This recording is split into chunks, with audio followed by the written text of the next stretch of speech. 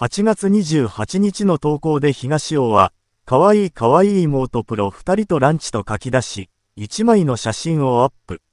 後輩の上田桃子、諸見里忍との貴重なスリーショット写真を公開しました。写真はレストランの店内で撮影されたもののようで、カメラに向かってピースをする上田と諸見里の間で、楽しげな笑顔を浮かべる東尾の姿が収められています。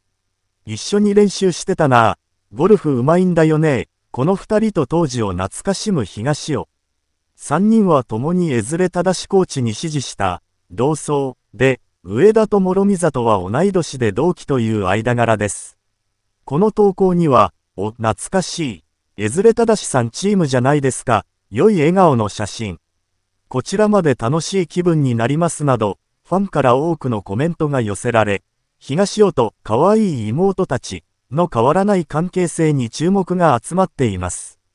東尾理子、東尾理子、1975年11月18日生まれ、福岡県出身。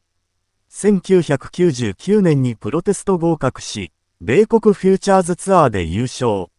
3年、大王製紙エリエールレディスオープンで単独2位の成績を収めた一方で、故障の多かった選手としても知られている。父は元プロ野球選手、監督の東尾治。09年に俳優、石田純一と結婚し、3児の子育てに奮闘中。14年にはツアー復帰を目指しジュガツアーのコリファイティングトーナメント、QT に参加し話題となった。現在は、ゴルフ解説以外にもバラエティ番組や CM 出演など多方面で活躍中。